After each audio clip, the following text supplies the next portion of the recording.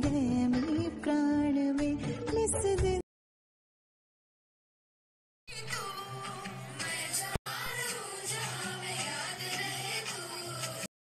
सबसे पहले आप सभी को मेरा नमस्कार और जय श्री राधे कृष्णा। आशा है कि आप सब लोग कुशल मंगल होंगे, हम भी स्वस्थ हैं, मस्त हैं।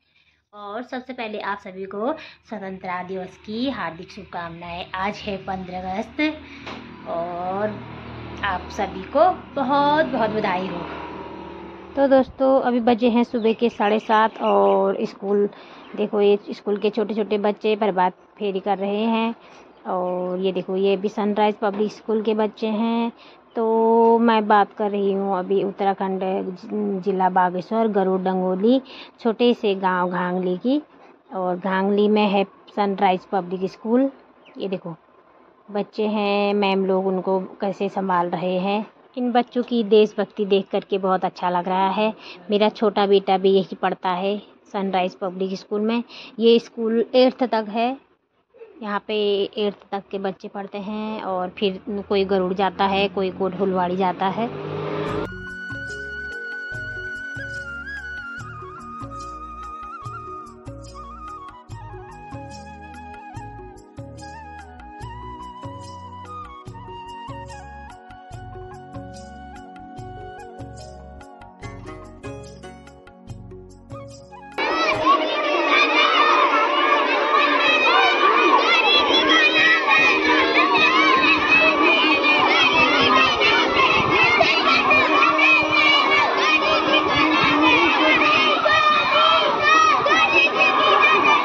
तो दोस्तों, यहाँ पे है सनराइज पब्लिक स्कूल और यहाँ पे मेरा छोटा बेटा भी पढ़ता है और आज स्वतंत्रता दिवस मना रहे हैं, पंद्रह अगस्त। दोस्तों, स्कूल में हो रहे हैं प्रोग्राम।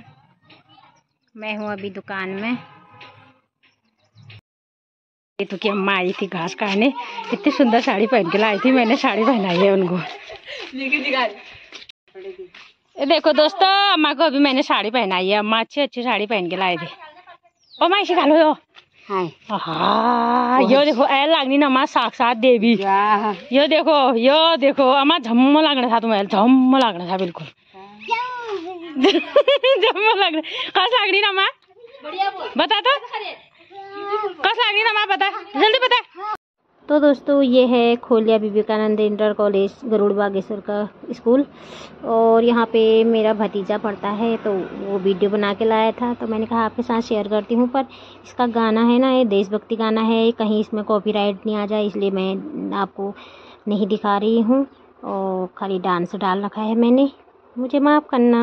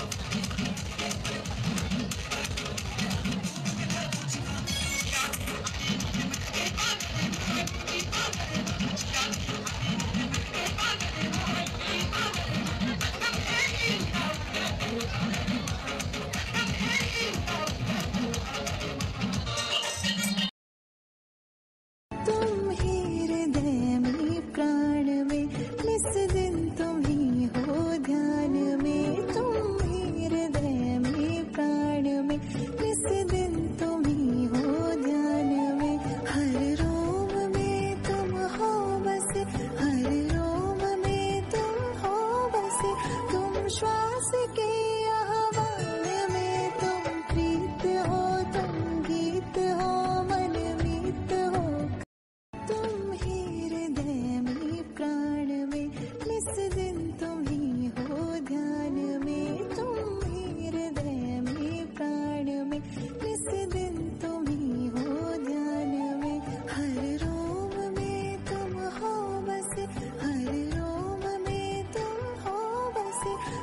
तुम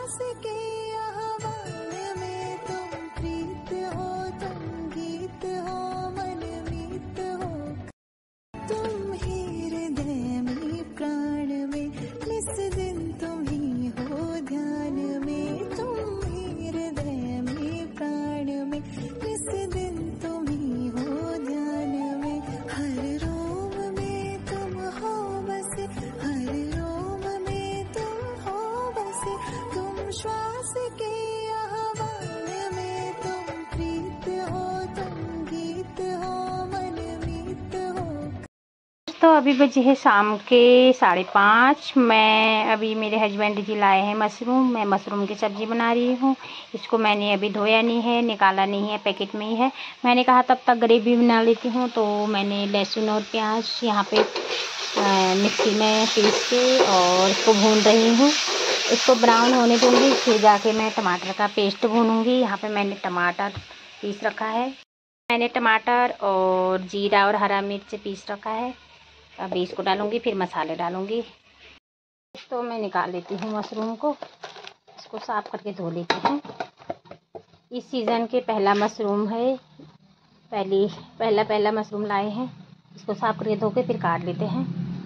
दोस्तों, मैंने मशरूम धो लिया है। अब इसको काट लेती हूँ मैं। मेरी फेवरेट सब्ज़ी है मशरूम। मुझे बहुत पसंद है मशरूम।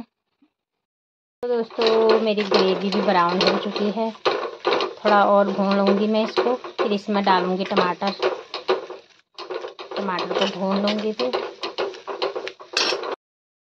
टमाटर डाल दिया है। अब इसको भून लेंगे।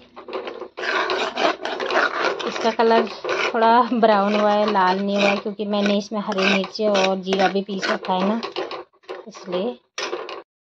तो यहाँ पे मैंने मशरूम भी काट लिया है। तो इसको देख लेते हैं, कैसा हुआ है, थोड़ा इसकी आवाज़ बना लेंगे। तो दोस्तों, देखो मैंने टमाटर भी डाला, टमाटर भी भून चुका है। अब इसमें मसाले ऐड कर दूँगी, फिर पानी डाल दूँगी, फिर डालूँगी मैं। मसाले मैंने ये घर के मसाले डाले हैं। धनिया, लाल मिर्च, हल्दी और नमक। और इसमें मैं एक मैगी मसाला डालूँगी। इससे बहुत अच्छा टेस्ट आता है